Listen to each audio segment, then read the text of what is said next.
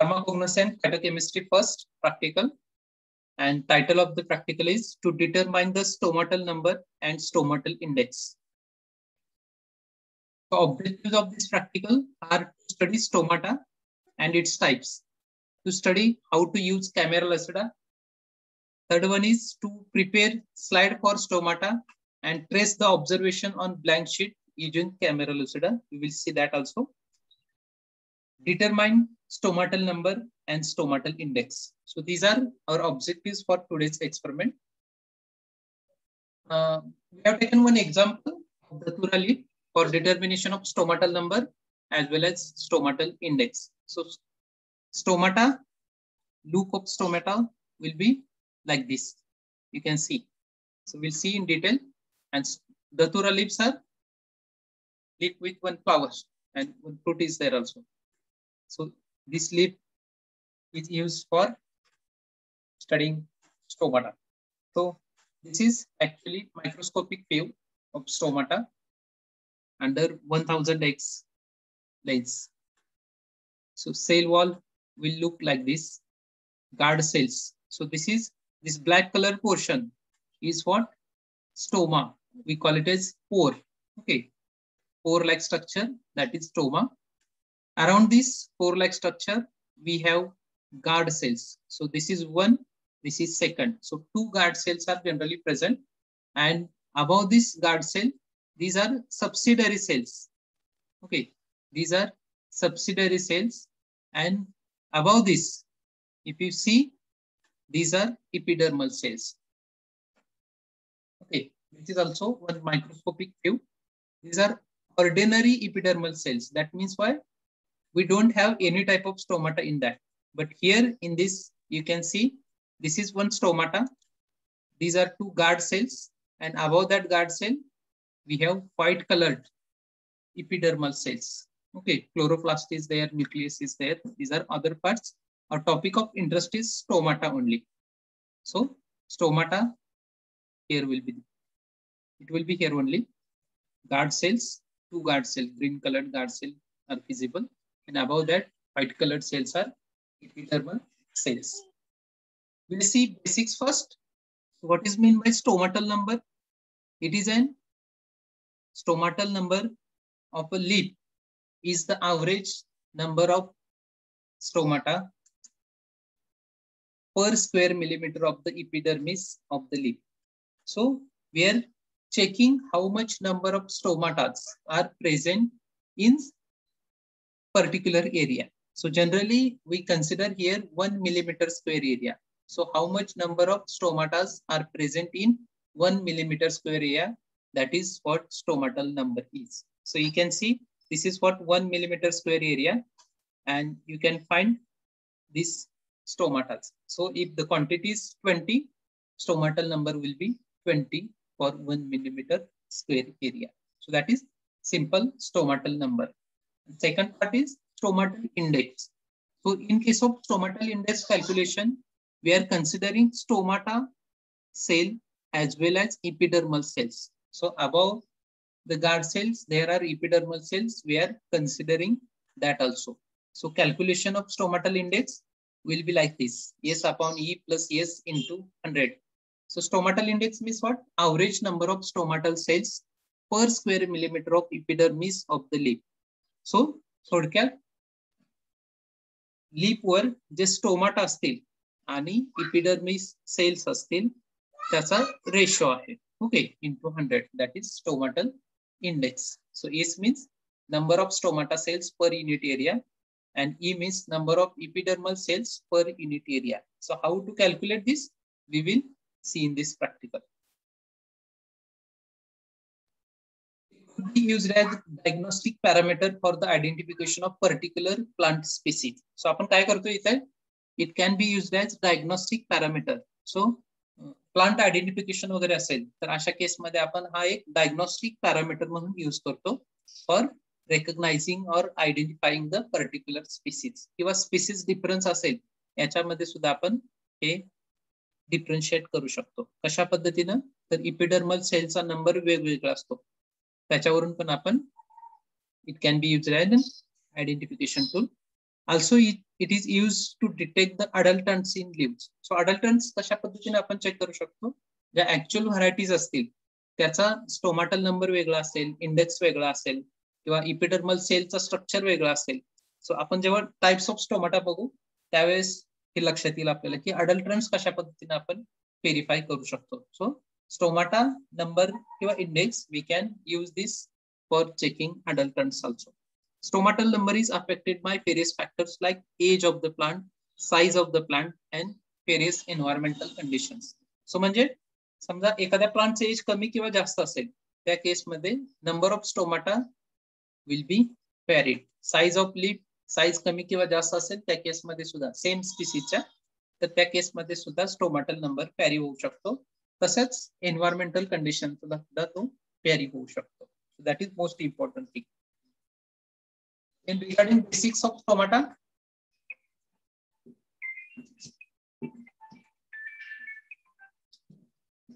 these are holes or pores in lip these are holes or pores in lip found on the lower, sometimes upper epidermis or surface of the leaves so थोडक्यात upper आणि lower साइडला epidermal cells असतात च्या खाली stomata present असतो hole is surrounded by two guard cells so we have seen already in the image this particular hole, stoma is surrounded by two guard cells.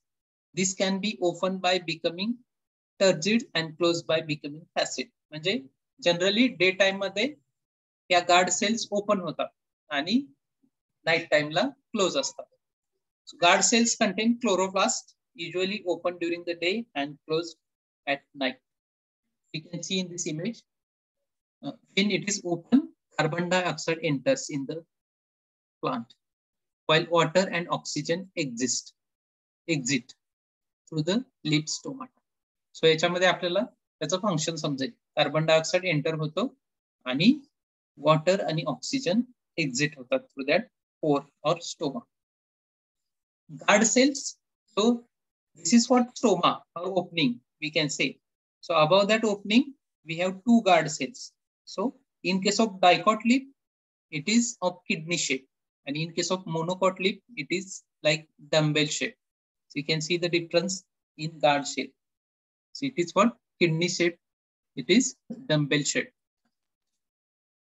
Role or functions of stomata control the entry and exit of gases into our out of the lip that we have already seen in the image, right? Entry and exit of gases. Guard cell open and close to the to control this. Stomata respond to outside conditions. We know that environmental condition can affect stomata. When conditions are right for photosynthesis, stomata open wide for gas exchange. When it is too dry or dark, stomata close up. Closed stomata prevent water loss in the plant. These are some functions. Simple one. We need to remember this. Regarding types of stomata, you can see anomocytic stomata, anisocytic stomata, dicytic stomata, parasitic stomata, actinocytic, graminous, and tetracytic. So what is basic difference in these stomata types? You can see this is pore, that is stoma. Above that, black lines are there, which is guard cell. And above that four cells are there you can see. So these four cells are simply epidermal cells. So if four cells are there we call it as anomocytic stomata. If three cells are there we call it as anisocytic stomata. Here feature of anisocytic stomata is one cell is smaller than two identical cells. So two will be same and one is smaller one. That is anisocytic stomata uh, generally, GPAT question is also asked for this. Anisocytic stomata contain two identical cells and one smaller cell. Dicytic, that means simple, two epidermal cells are present. Then we call it as dicytic stomata. Parasitic, word itself indicate. Para means parallel to guard cells. That is why para. Only two are there. So parasitic stomata, it contains two but parallel. Same here discussed. Actinocytic, more than three, we call it as actinocytic stomata. Graminous. See in last slide, we have seen The monocot leaf generally contain dumbbell-shaped guard cells. So in this Gramineous, these are dumbbell-shaped. Okay, these are dumbbell-shaped guard cells. So we call it as Gramineous stomata type. Tetracytic, that means total four epidermal cells are there. That is tetracytic. I think there is no any problem with respect to stomatal type because only with difference of number of epidermal cells, stomata is classified.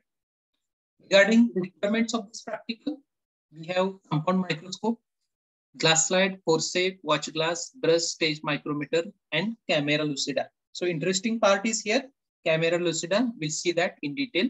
Regarding chemicals, we need chloral hydrate solution. So generally it uh, leaves contains starch in that case, we require chloral hydrate boiling. So boiling of leaf with chloral hydrate gives clear image. Okay, chloroglycinol, concentrated HCl, glycerin and water. To drug, we are using This is regarding requirements. You can see chloral hydrate solution. Bottle is given here. Microscope, we all know. Regarding stage micrometer I think blood related प्रॅक्टिकल्समध्ये हे तुम्ही बघितलं असेल. Stage micrometer it contain circle like this and in this circle the scale is given so एक मिलीमीटरचे शंभर भाग असतात थोडक्यात. One millimetre contain hundred parts okay so this is what black sheet this is black sheet or black paper this is white pencil camera lucida you can see camera lucida. The design is like this. So it contains mirror and it contains two lenses. So we'll see in detail what is actually, how this actually working. So याच्यामध्ये सगळ्यात महत्वाचं आहे stage micrometer ही जी circular part आहे त्याच्यामध्ये एक line दिसते बघा so it contain one millimetre in that 100 parts of 1 millimeter are given.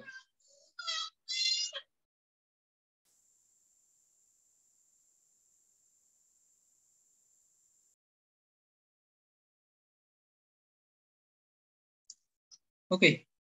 Regarding camera lucida, ah, we'll see camera lucida is an optical device used as a drawing aid by the artist generally. The camera lucida ah, performs an optical superimposition of the subject being viewed upon the surface. The camera lucida was patented in 1806 by William Hyde Wollaston. So we have these two URLs, how actually this camera lucida uh, works. So camera lucida, it generally, it simply gives optical superimposition and that is invented or patented by 18 William Hyde Wollaston in 1806. You can see the actual camera lucida. It will be like this. So this is what arrangement. This is glass. This is mirror. So in case of experimental work, it will be look like this. So mirror is adjusted like this.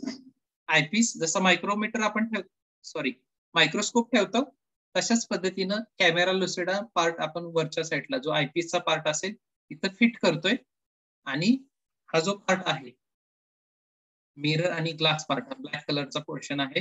हा part आपण इथं attach करतो आयपीसला आणि इथून बघतो. इथून जेव्हा बघतो आपण तेव्हा या मिररनी इकडे जी इमेज असेल ती पण फोकस करतो आपण. म्हणजे थोडक्यात आपली ब्लॅक शीट एक असणार आहे आणि एक ऑब्जेक्ट असणार आहे. या दोन्ही आपण सायमल्टेनियसली या आयपीस मधून बघू शकतो. ओके या ठिकाणी ड्रॉइंग पेपर असणार आहे ब्लॅक शीट असणार आहे. याच्यावर आपण one millimetre square area draw करतो. Like this so practical arrangement will be like this अशा पद्धतीने मायक्रोस्कोप असेल. हा मिरर दिसतोय बघा आपण जस्ट बघितलेला कॅमेरा लुसडा आणि त्याचा जो आयफिस आहे तो इथं अटॅच केलेला असेल. याच्यामधून जर आपण बघितलं तर इकडे ब्लॅक शीट पण दिसेल आपल्याला. आणि इकडे आयपीस मधून जो ऑब्जेक्ट आपण बघत असाल ते पण दिसेल. आता सध्या आपण इथे काय ठेवलेलं आहे? Stage micrometer. म्हणजे अशा पद्धतीने स्केल असेल की आपण इकडे दिसते आणि ह्या मिरर असल्यामुळे ब्लॅक शीट पण आपल्याला दिसते. त्यामुळे ब्लॅक शीट वर तुमची स्टेज मायक्रोमीटर दिसेल. म्हणजे आपण हा समजा पॉईंट दिसतोय बघा. इथं आपण क्लिक करून हा पॉईंट कन्फर्म करू शकतो. जेणेकरून आपण अशा पद्धतीनं थोडक्यात व्ह्यू असेल. अशा पद्धतीनं थोडक्यात व्ह्यू असेल. ग्लास इथून जी पुढची इमेज आहे थोडक्यात ती इमेज अशा पद्धतीने दिसेल. थोडक्यात मायक्रोस्कोपमध्ये आपण जेव्हा चेक करतो तेव्हा इथं स्लाइड असणार आहे. स्लाइड वर आपण ऑब्जेक्ट ठेवतो आणि चेक करतो आणि ही ब्लॅक शीट असेल थोडक्यात. सो अशा पद्धतीने पीओ असेल बघा. आयपीस आहे. त्याला आपण हा कॅमेरा लुसिड अशा पद्धतीने अटॅच करतो आणि मिरर अटॅच करतो. View will be like this इथे आहे बघा मायक्रोस्कोप आहे. इथं कॅमेरा लुसिड अटॅच केलाय. मिरर आहे. आणि ब्लॅक पेपर अशा पद्धतीने ठेवतो. त्याच्यावर one millimetre square area so eyepiece मधून जशा पद्धतीने दिसतो तशाच पद्धतीने आपण one millimetre square area draw करतो आणि त्या वन मिलीमीटर स्क्वेअर एरियामध्ये how much as well as epidermal cells are there we are calculating that and we are drawing that stomata as well as epidermal cells in this black sheet this is simple experiment This is procedure for the same. Clear the piece of leaf by boiling with chloral hydrate solution. So chloral hydrate solution कशासाठी use करतोय आपण इथे chloral hydrate सोल्युशनमध्ये boiling केलं तर जे image दिसणार आहे आपल्याला ते एकदम क्लिअर दिसेल peel out upper and lower epidermis separated by means of forceps. So प्रॅक्टिकलमध्ये already आपण बघितलं असेलच आपण काय करतो पील ऑफ करतो इपिडर्मिस लेअर आणि मग कट करून घेतो. Arrange the camera lucid and drawing board to trace out object on the slide so आपण इथे अरेंजमेंट बघितली? अशा पद्धतीने अरेंजमेंट असेल. Mirror will be like this here white colour portion is there this is mirror this is compound microscope here object will be placed and this is black sheet so black sheet वर आपण अशा पद्धतीने one millimetre square area draw करतो.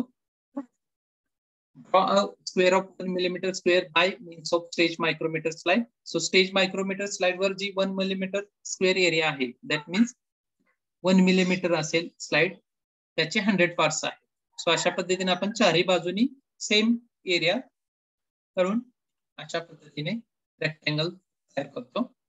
नंतर place the slide of clear leap on mechanical size so स्टेजवर आपण ठेवतो slide trace the epidermal cells and stomata with the help of camera lucida हे कशा पद्धतीने असेल शॉर्टमध्ये?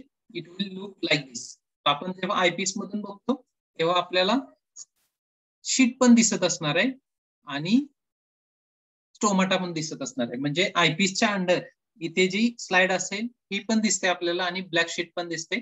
याच्यावर वन मिलीमीटर स्क्वेअर एरिया पण दिसतो. त्यामुळे त्या पर्टिक्युलर एरियामध्ये किती स्टोमाटा आहेत किंवा इपिडर्मल सेल्स आहेत ते आपण चेक करू शकतो. हे सर्क्युलर पार्ट आहे दॅट मीन्स व्हॉट स्टोमाटा आणि हे ऍस्टरिक्स टाईप आयडेंटिफिकेशन मार्क्स आहेत. That means what number of epidermal cells present so you can see साधारण चार इपिडर्मल सेल्स दिसतात आपल्याला एका बाजूला.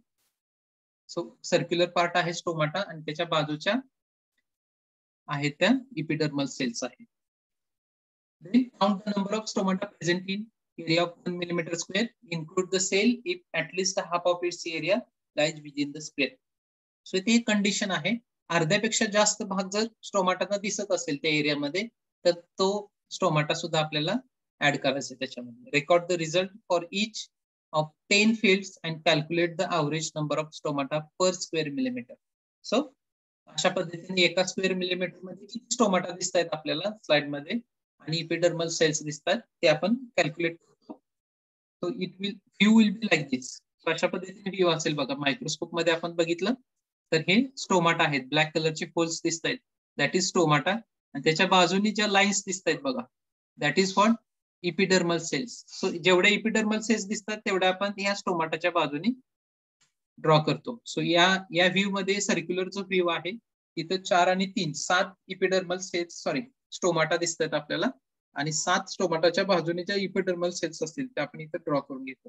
म्हणजे आपल्याला थोडक्यात इपिडर्मल सेल्स आणि स्टोमाटा नंबर येईल आता अॅनिसोसायटिक स्टोमाटा किंवा क्रुसिफरस ऑलरेडी आपण टाइप्समध्ये बघितलं. धतुरामध्ये अॅनिसोसायटिक टाइप स्टोमाटा सापडतो. दॅट मीन्स वॉट थ्री किंवा त्यापेक्षा जास्त इपिडर्मल सेल्स त्याच्यावर असतात. स्टोमाटल नंबर रिझल्टमध्ये मग काय करतो आपण?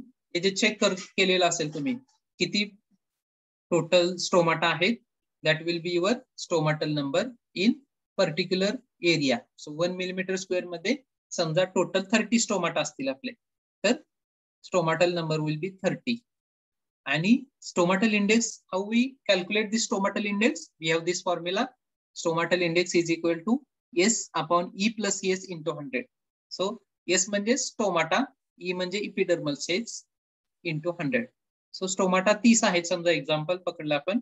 आणि इपिडर्मल सेल्स नव्वद असतील. तर formula will be like this S I is equal to thirty upon ninety plus thirty into hundred so it will be twenty five so धतुराचा stomatal number twenty five असेल. So अशा पद्धतीने आपण धतुराचा stomatal number as well as stomatal index check करू शकतो. Stomatal number आणि इंडेक्सचा use काय असेल? तर आपण अडल्ट्रेशन चेक करू शकतो. त्यानंतर त्याच्या ज्या स्पीसीज असतात वेगवेगळ्या त्याचा आयडेंटिफिकेशनसाठी डिफरन्स चेक करण्यासाठी पण हा स्टोमॅटल नंबर आणि स्टोमॅटल इंडेक्स चेक करू शकतो. These are two references this is all about